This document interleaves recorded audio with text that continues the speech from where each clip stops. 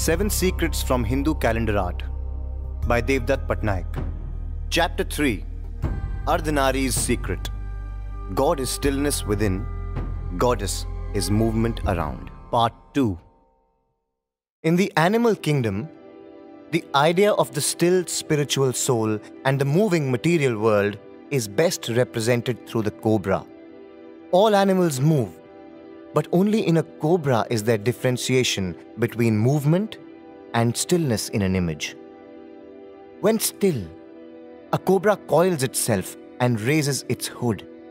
In order to copulate, both the male and the female have to constantly move. Thus, a hooded cobra, associated with the meditating Shiva or the sleeping Narayan, represents the unchanging otherworldly truth, while a pair of copulating serpents is a fertility symbol associated with the changing worldly truth. In the mineral world, the best way to represent stillness is with ash and snow. Ash is created when something is burnt or destroyed, but ash itself cannot be further destroyed. Thus, it represents permanence, the unchanging truth, the soul. Snow is water that is still. Both ash and snow are associated with the hermit Shiva, who sits still on the Himalayas. If snow is still water, then the river is moving water and best represents the changing truth, the impermanent world. One can never step into the same river twice, as the wise say, for she is always changing. Shiva stills the flowing river nymph Ganga in the locks of his hair because she has the power to overwhelm the world and the mind with her flow. In geometry, triangles are used both to represent stillness and movement. An upward pointing triangle is used to indicate stability, and a downward pointing triangle is used to indicate movement.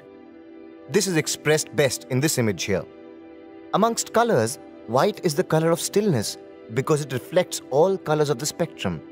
Saraswati wears white. Black is the color of movement because it absorbs all colors. Red is the color of potential energy, while green is the color of realized energy because the earth is red just before the rains when it still contains sown seeds, and it is green after the rains when seeds burst forth into life. Typically, Lakshmi and Durga wear red robes, while Annapurna is dressed in green. In space, the pole star is still. Hence, the northern direction came to be associated with stillness and wisdom and immortality, while the southern direction came to be associated with change and death. In the body, the left side represents change because even when we are still, the heart continues to beat against the chest. The right side, by contrast, is still, thus representing the soul. Since change is undesirable, the left side became the inauspicious part, and the still right became the auspicious part of the body. Amongst humans, the celibate hermit represents the still soul, while the dancing nymph represents the moving world. The two are constantly in conflict. Yet only when the hermit and nymph unite is life created. Thus, life is a mix of the changing and the unchanging truth. This image represents the combination of the unchanging truth, which is the left sided male ascetic, and the changing truth, which is the right sided female dancer. Ardhanari Ishvara, or God as half a woman, is very popular. It has led to psychoanalysts to conclude that Indian culture was very comfortable with female sexuality. It was a part of the divine. Few cultures in the world saw the divine in feminine form. Fewer still saw the divine as partly masculine and partly feminine. It is easy to see this image and assume that India is comfortable with sexual ambiguity, the woman and man and the man and woman.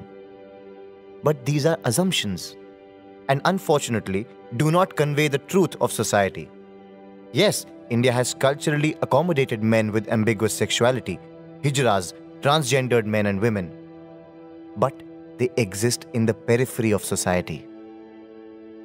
Unfortunately, We live in a world where people focus on form rather than idea. We assume representation is reality, and Ardhanarishwara is decoded as a half woman god rather than the divine, which is half matter and half spirit. In symbolic language, the male half represents the formless divine, known in Vedas as Purusha, in Vaishnava manuscripts as Narayan, and in Shaiva manuscripts as Shiva. The female half represents the divine that has form, male, female, and neuter forms. The female form is known in Vedas as Prakriti, in Vaishnava manuscripts as Maya, and in Shaiva manuscripts as Shakti. This image is interesting as the identity is very much masculine. This is a half woman god, not a half man goddess. There is no reference to any half man goddess in sacred literature. Thus, within the apparently inclusive form of the divine is a gender power play. This is a form of Shiva, the ascetic god. The story goes that Shiva's devotee, Bringi, wanted to circumambulate Shiva but not Shiva's consort Parvati. Parvati would not allow that. She sat on Shiva's lap, making it impossible for the ascetic to pass between them. When Bringi took the form of a bee to fly between their heads, she merged herself with Shiva so that she became his left half. Now Bringi took the form of a worm and tried to bore his way between them. Parvati was not amused.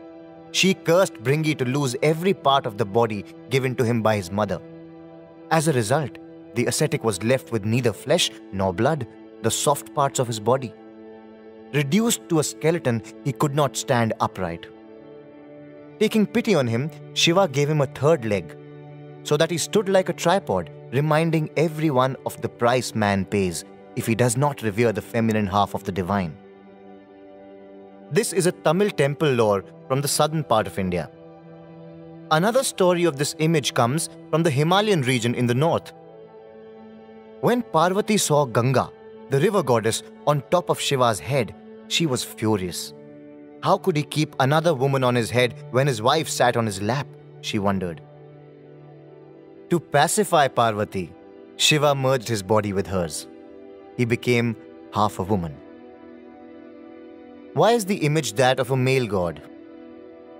The image suggests that Shiva is incomplete without the goddess, meaning that spiritual reality is incomplete without material reality.